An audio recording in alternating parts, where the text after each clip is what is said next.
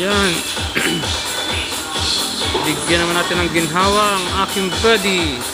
Para bago mag-deliver, eh napakaganda niya at napakakinis. Okay po ba? And enjoy the music. Habang pinakarwas, enjoy the music. Yan. Ah, yan. Boging-pogi na naman ang aking alaga. Sarap.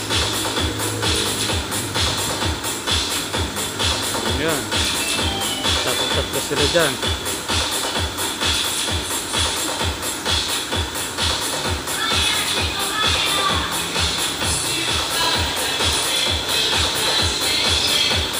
Pero,